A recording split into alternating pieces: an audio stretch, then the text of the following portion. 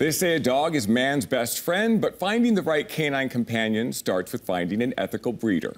Irresponsible breeding practices could lead to health issues or anxious temperaments in certain dogs. Morgan Weber of Lucky Pup Adventures is here to share her top tips for selecting a breeder who aligns with your values. She knows that identifying a reputable dog breeder is crucial if you want your parent, a puppy parent journey to start off on the right paw. Yeah, the right paw. The right paw, That's yes. right. Well, so thanks- this, who is this? This is Archie. Thanks so much for having us. Um, so. Archie is actually available through B Squad Rescue. So if anybody at home thinks they might want to bring a little beagle into their house, he might be a good option. But why are you with Archie today? Yeah, so I'm with Archie today because I'm really passionate about helping people find an ethical breeder if that's the route that they want to go. There are so many amazing dogs who are in rescues or who come from breeders, but we want to make sure that we're making choices where we're helping support, like kind of like you said at the beginning, you know, our values. And um, there's more to owning a dog than just giving them food and water. We want to give them a great life, and part of that comes from again, where do we get our dogs, and maybe what kind of health issues might they be predisposed to if we are working with people maybe who aren't making those um, extra steps to make sure they're getting us the most healthy dogs. And Archie is a rescue, but he's a rescue because he came from a breeder that He didn't did. want him or couldn't sell him. Exactly. Yeah. Right. This is where this is all kind of coming back to what you need to look for. Yeah, Exactly. Full circle. So Full let's circle. let's talk about some of the red flags that you should look for uh, in a breeder. You know, the red flags, the problems. Exactly. So I like to ask breeders a lot of questions. So you can see, you know, is there a health guarantee? Is there um, a, a contract clause that says if you can't keep the dog anymore, that the dog has to come back to them? That's a great way to keep um, pets out of rescues and out of shelters. Um, and you know, at, if people say yes to everyone who asks for a puppy, that might be a red flag because they might not be taking the puppy's temperament or that breed into consideration. So if you have somebody who just wants to hang out at the end of the day after they get home from work, a really active dog breed is probably not the best choice for them. But if they go to a breeder that just says yes to everybody, again, they're not helping make those lifelong success choices. And we want to make sure that we set ourselves up the best we can for long-term success with our dogs. Yeah, yeah. We noticed uh, let you uh, let you pick the puppy. Uh, explain that one. We to were us. confused, Yeah. Yeah, I know. And everyone says, "Well, I want to be able to pick my own puppy, right? I know Right. I want to pick the cutest puppy or the one that comes to me that we're meant to be together." Sure. And sometimes that puppy might not be the best temperament choice. So if you maybe have a lot of kids in your house, or you've got a lot of friends that come over, you want to make sure you're getting a puppy who's really confident and wants to meet new people. Whereas the puppy that's a little bit more shy might not be the best choice because they probably aren't going to enjoy a lot of people kind of coming in and out. So you're saying a good breeder knows the puppies well, they know temperaments well, and they're going to help you match with the right puppy as opposed to just saying whatever puppy you want. Exactly. Yes. Uh, we even had a few other red flags, I think. Yes. there were even more red flags that we were talking about earlier too.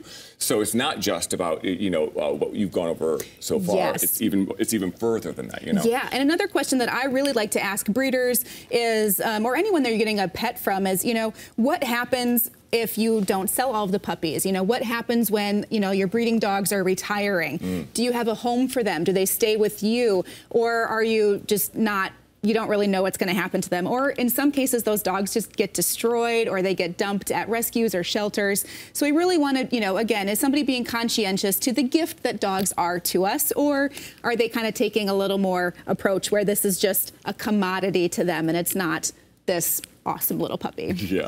so preservation breeders is something Yes. that's new to me. I, I haven't heard of that. So I was really interested to read up on this. Tell us a bit more about what a preservation breeder is. Yeah, so essentially a preservation breeder is somebody who's taking the purpose of the dog.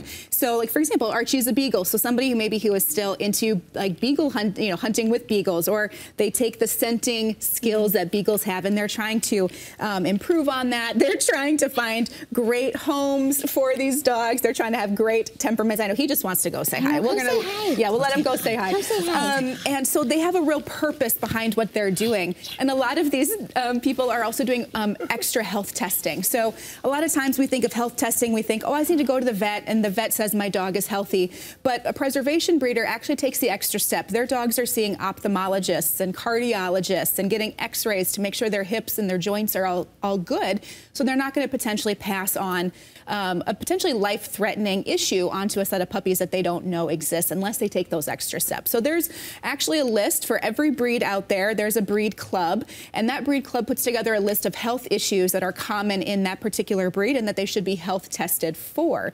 Oh. So there's a lot of these extra steps that a preservation breeder will do to make sure, again, that they're helping um, give people a lifetime of health and happiness with their pets and not just how many puppies can we create so that way we can get puppies into everybody's home. So there's a different approach. We talked to our, our friend Maggie with Tenacious Dog Training a yes. lot too about the different roles and jobs dogs have. We just yes. did that recently. And that's probably another reason why breeding and preservation breeding is important because there are dogs meant to do jobs that are really essential to yes. our day to day. And so while we do say rescue and adopt is, is a wonderful thing to do, there are really some great purposes for breeding. Absolutely, yes. And you know, and some of it is just um, getting dogs who have an amazing oh, temperament or who have a lot of um, really good experiences Maggie? early in life. And you know, there are a lot of great um, dogs who come into rescue at very young puppies, and they can also get those great experiences early in life. But it's really, again, just setting puppies up for the best possible success, and then setting up their their people for the best possible success as well. So let's talk about more reasons to to be selective about your breeder. Yes.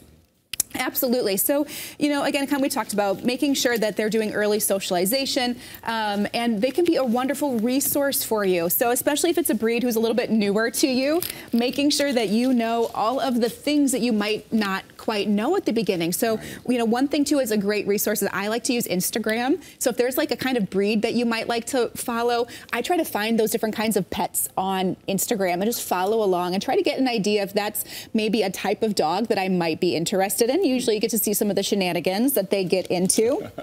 Um, but then also that breeder is going to be a lifelong resource. If you have questions, if you're maybe running into issues, they can help you troubleshoot. Um, and again, if you ever do need to bring your dog back for any reason, they are there to take that dog for you. So again, it's not ending up in a rescue or in a so shelter. that's really key that they should have a lifelong return your dog. yes, I yep. love that. I'd never even heard of that. That's really an important piece mm -hmm. of that. Mm-hmm. I think. I also like that it takes them all the way to retirement. That they yes. think that through. Yeah, they should have a whole plan, right? Again, mm -hmm. um, if someone has, say, they're breeding 10 different dogs, well, again, are those 10 dogs going to stay with them? Are they going to find new loving homes? Right. Or do they kind of just get sent to shelters or do they get destroyed at the end? And that's not a, a great long-term solution. What kind of family would be great for Archie here? Yeah. Oh my gosh, Archie is a busy guy if you can't tell. Yeah. So he would love if there's another dog in the home that he can play with. He loves playing with our dogs. Um, he seems to be pretty good with kids too. So he would like, you know, just, again, someone to be active with him and who can um, put up with his beagle shenanigans. He loves food. He loves sniffing things out. So yeah, he's fun. He's a fun little guy. And he's available. And he you're is available right now. Yes. So he's in good hands. He's in pretty good hands. We're, right. we're, learning some things, so right. he should be a pretty good addition to a home. oh my goodness. So thank, thank you, you so guys. Much.